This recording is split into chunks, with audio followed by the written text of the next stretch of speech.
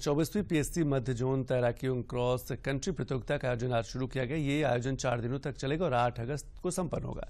प्रतियोगिता का आयोजन पैंतीसवीं वाहिनी पीएससी के शहीद भगत सिंह तरड़ताल में किया जा रहा है। इसमें पीएससी मध्य जोन नवी वाहिनी, दूसरी वाहिनी सीतापुर, दसवीं वाहिनी बाराबंकी, ग्यारहवीं वाहिनी सीतापुर, पच्चीसवीं वाहिनी रायबरेली, छब्बीसवीं वाहिनी गोरखपुर तीसरी वाहिनी गोंडा, बत्तीसवीं और पैंतीसवीं वाहिनी लखनऊ इसमें शामिल है।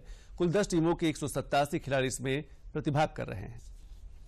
देखिए, आज पीएससी मध्य जोन की अंतरवाहिनी टूर्नामेंट का आज शुभारंभ हुआ है यहाँ पे इसमें स्विमिंग और क्रॉस कंट्री उसमें अलग अलग प्रतियोगिताएँ होगी।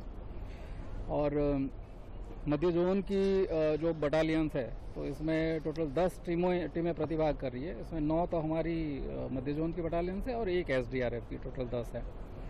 और एक सौ वन एटी सेवन इसमें तैराक और एथलीट जो क्रॉस कंट्री दोनों मिला के, ये लोग इसमें प्रतिभाग करेंगे। ये चार दिन का ये टूर्नामेंट है तो आज इसका शुभारंभ हुआ है और चार दिन बाद आठ तारीख को ये समापन होगा।